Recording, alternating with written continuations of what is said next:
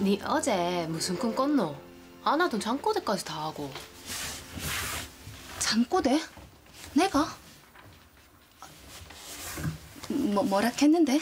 뭘 태운다나 뭐 심장이 어쩌고 하더니 미치도록 행복하다 카더라. 그거 연극하는 꿈을 꿨나 보다. 연극? 실은 어제 민우 씨 무대에 서서 연극 대사를 해봤다 아이가. 아, 네가 말이가. 근데 기분이 참 묘하더라.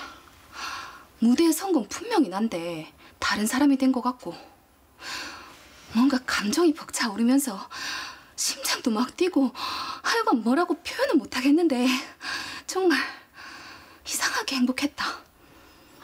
맞나? 아, 하긴 네가 원래 그런 쪽에 재주가 있었다 아이가.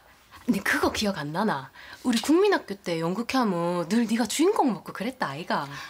주인공은 무슨 엄마가 절대 안 됐다 해서 결국은 못했다 아이가. 맞다 그랬지. 아 그때 아줌마 진짜 대단했다. 네 연극하면 학교 안 보낸다고 학교까지 찾아와가 고래고래 소리 지르고.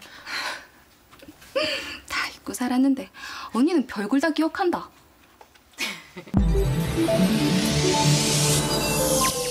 KBS